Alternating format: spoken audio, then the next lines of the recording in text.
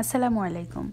আজকের recipe green chicken এটা একটি ইন্ডিয়ান রেসিপি কিন্তু এটাকে আমি আমার মতো করেই রান্না করেছি, যদিও ইন্ডিয়া এটাকে বলে হারিয়ালি চিকেন তো গ্রিন চিকেন রান্না করার জন্য এখানে আমি মুরগির মাংস নিয়েছি হাড়সহ এক কেজি।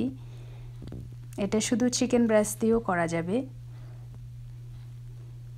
আর যেহেতু এটা গ্রিন চিকেন এখানে আমি একটা গ্রিন পেস্ট বানিয়ে নিচ্ছি, যার জন্য আমি আধা কাপ ধনিয়া পাতা নিয়েছি। আর আধা কাপ নিচ্ছি পুদিনা পাতা। এগুলো আমি ছোট একটা ব্লেন্ডারে নিয়ে নিচ্ছি ব্ল্যান্ড করার জন্য। যে কোনো ব্ল্যান্ডারে ব্ল্যান্ড করা যাবে। আর এগুলো ব্ল্যান্ড কর, আসলে শুকনো শুকনো তো ব্ল্যান্ড করা যাবে না। আমি আধা কাপ পানিও দিয়ে দিচ্ছি ব্ল্যান্ড করার জন্য। আরও দিয়ে দিচ্ছি আমি চার পাঁচটা কাঁচামরিচ। আর কাঁচামরিচটা অবশ্য যে যার স্বাদ মতোই দিবেন, যে যেমন ঝাল খেতে পছন্দ করেন। এখন আমি সব একসাথে ব্ল্যান্ড করে নেব।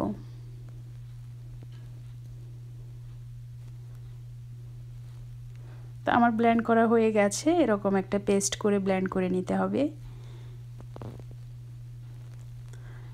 এখন আমি চিকেনের মধ্যে এই পেস্টটাই শুরুতে দিয়ে দিচ্ছি।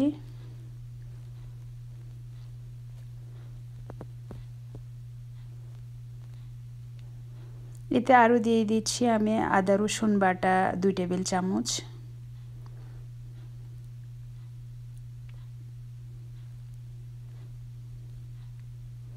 আর দিয়ে দিচ্ছি আধা চা চামচ লাল মরিচের গুঁড়ো, আধা চা চামচ হলুদ গুঁড়ো,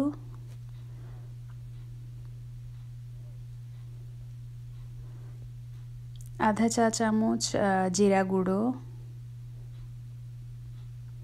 আধা চা চামচ ধনিয়া গুঁড়ো। আরও দিয়ে দিচ্ছি আধা চা চামচ গরম মশলা পাউডার। আর লবণ দিয়ে দিচ্ছি আমি দু চা চামচ, যে যার স্বাদ মতো দিলেই হবে।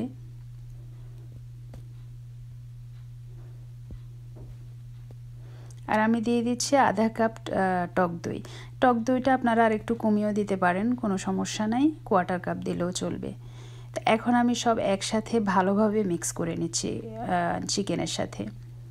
একটু সময় নিয়ে ভালোভাবে মিক্স করলে ভালো, তাহলে সবগুলো মশলা ঠিক ঠিকভাবে সব জায়গায় পৌঁছাবে এবং সুন্দরভাবে মিক্স হয়ে যাবে।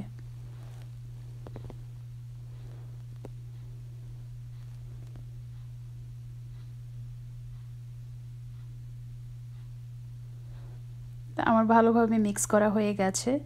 এখন এটাকে আমি ঢেকে পনেরো থেকে বিশ মিনিটের জন্য ম্যারিনেট করতে রেখে দিব।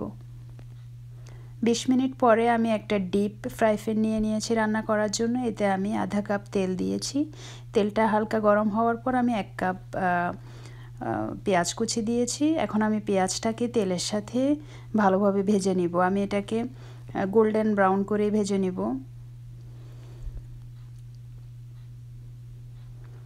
তা আমার পেঁয়াজটা ভাজা হয়ে গেছে। এখন আমি সে যে ম্যারিনেট করে রেখেছিলাম চিকেনগুলো আমি শুধু চিকেনগুলোই তুলে দিচ্ছি গ্রেভিটা আমি এখন দিচ্ছি না।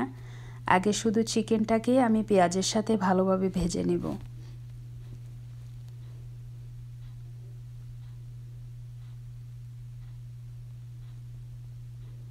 পেঁয়াজের সাথে এখন চিকেনটাকে ভালোভাবে মিক্স করে, মাঝারি আছে, এটাকে আমি দশ থেকে বারো মিনিট ভেজে নেব।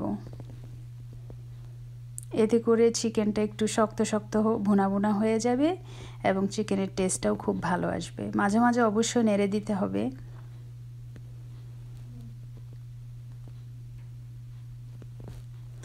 আমার চিকেনটা ভাজা হয়ে গেছে দশ মিনিট। এখন আমি আধা কাপ টমেটো কুচি দিয়েছি। আর টমেটো কুচিটা এখানে অপশনাল আপনি দিলেও দিতে পারেন, না দিলেও নাই। আমার কাছে টমেটো কুচিটা বেশ ভালো লাগে। গ্রেভিটাও সুন্দর হয়।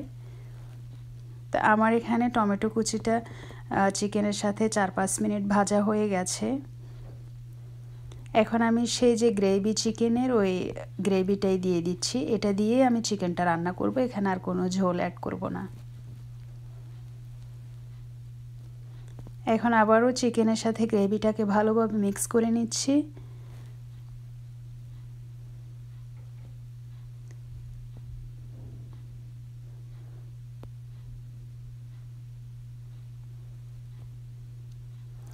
এখন আমি চিকেনটাকে ঢাকনা দিয়ে ঢেকে আধা ঘণ্টার জন্য রান্না করব।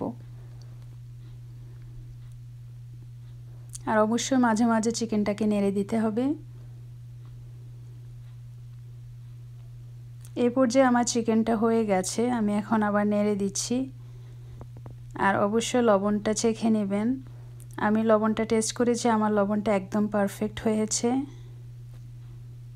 আর এতে আমি ধনে পাতা কুচি আর দিব না, যেহেতু আগে অনেকগুলো ধনে পাতা পেস্ট দিয়েছি। আমার চিকেনটা কিন্তু খুবই মজা হয়েছে, আপনারা অবশ্যই ট্রাই করবেন। এটা এটা আসলে খেতে অসাধারণ হয়েছে এবং এটা একটু অন্যরকম হয়, অন্যান্য চিকেন যেভাবে আমরা রান্না করি সেগুলা থেকে। থ্যাংকস ফর ওয়াচিং আর আমার চ্যানেলটা ভালো লাগলে অবশ্যই সাবস্ক্রাইব করবেন এবং ভিডিওটা ভালো লাগলে অবশ্যই লাইক করবেন। আজ এ পর্যন্তই। আল্লাহ হাফেজ দেখা হবে পরবর্তী ভিডিওতে।